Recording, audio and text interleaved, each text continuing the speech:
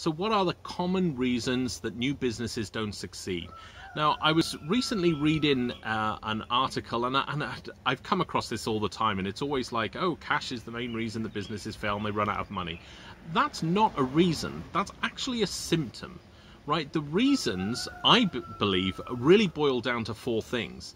But I want everybody to understand, and, I, and I'm pretty sure, like any founders and entrepreneurs out there, uh, will agree with me on this one.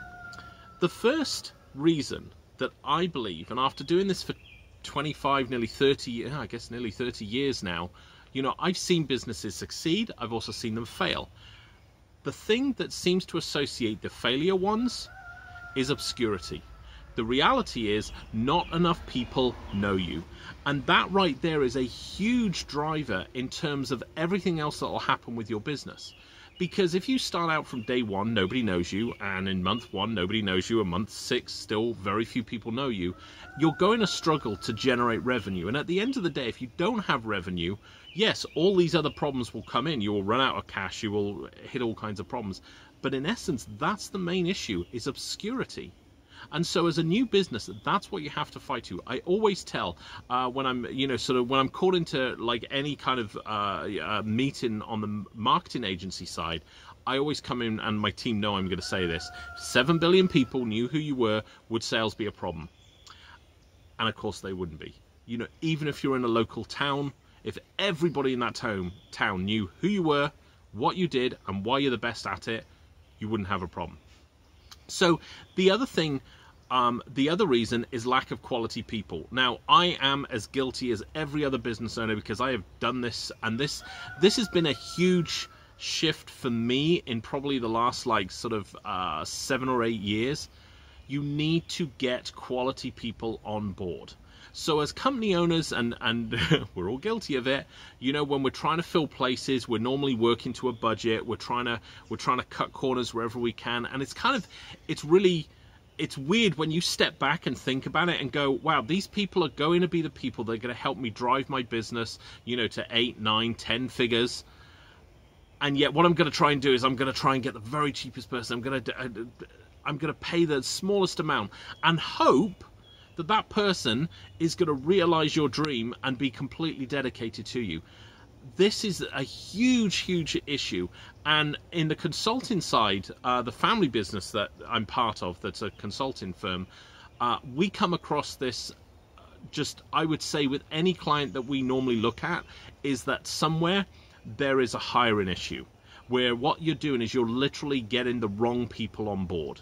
So, um, that would be my second reason uh, for actually uh, reasons that new businesses don't succeed is they don't get the right people on. Okay, so the third reason is really kind of tying in with the obscurity side, and that's marketing budget. Uh, during during the early, very early 2000s, um, I ended up, and and again, this was just on the consulting side. We ended up creating um, a lot of uh, business plans for businesses, and of course, you know, when you go through, you're talking about marketing budgets. I was shocked at how many businesses either don't account for it at all or do a pittance to what they should be doing.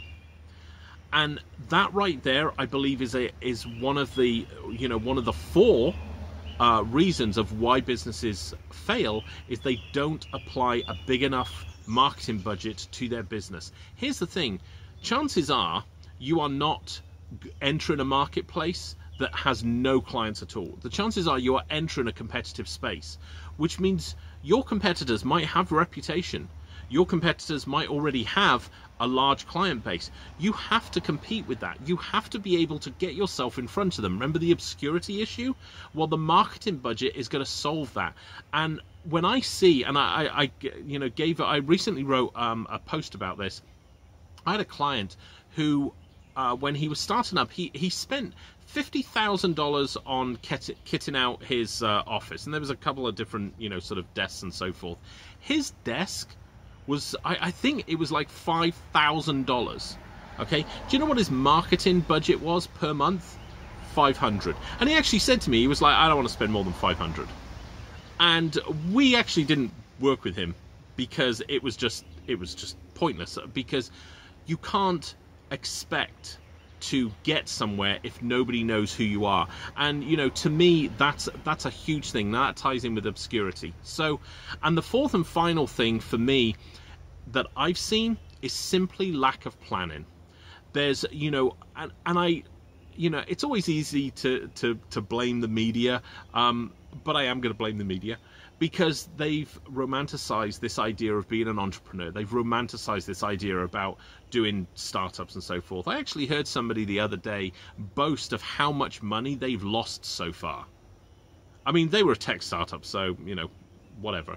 Um, but that right there, the lack of planning, of understanding the market you're moving into, understanding those three other things obscurity, marketing budget, people okay not planning for those correctly is going to be your downfall. Planning is so important, and what tends to happen in the planning stage, because I've seen this a numerous times, you know, in the in the consulting uh, family firm that I'm involved in, uh, we don't take new startups at all. Uh, you know, we only deal with established companies, and it's because that it's very difficult to try and convey the point that the planning on so many businesses is wrong. You, because normally the marketing works on a basis of well it, i'm going to be viral or well you know just all my friends know about me and so forth. And these are all terrible planning issues. So a lot of it and i understand with with planning a business can sometimes be guesswork. But unless you're moving into a marketing space that has no uh, competitors you've already got the market data you need. You know what your competitors currently are spending to achieve their market share. So that should all be part of your planning. You know, everybody's very people are fast to to come up with business plans and like i said i was involved in developing them uh, you know sort of in the early days of the consulting um, firm and you know business plans are great but business plans tend to be more of guesswork than anything else. And I think where business plans fail a lot of the times is that they, you know, that they'll talk about the ideal situation. Because a business plan you're normally trying to get money so you're trying to paint your business as as you know sort of bright-eyed and bushy-tailed as you possibly can. And that is actually a problem because what you're really not addressing is the realities of doing business um, so those are, for me, those are the four key points of why I see, and this is, you know, this is like nearly 30 years of experience now of seeing, you know, I've had businesses that have failed on me, and I'll tell you, the the first one that failed on me was lack of planning.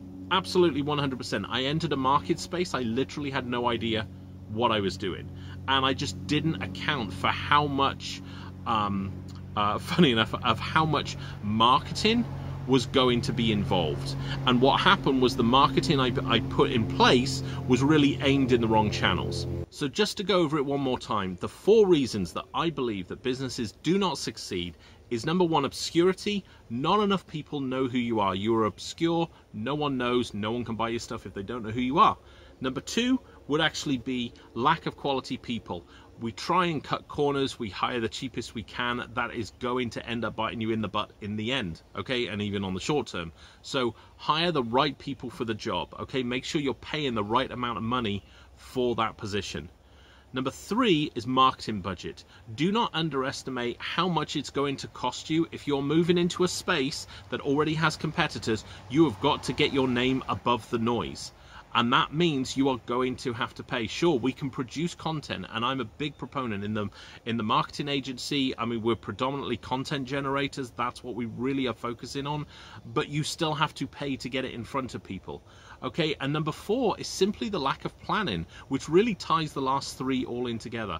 That lack of planning you have to be able to look at your business and look at the business you're proposing to do not through rose colored spectacles. You don't want to be looking at it thinking everything's going to be right. Ask the tough questions. What happens if somebody copies my business 100% and opens next door to me? What happens if my competitor simply begins outspending me on marketing? What happens if my competitor drops their prices to half or lower than what I can even, you know, sort of produce it for?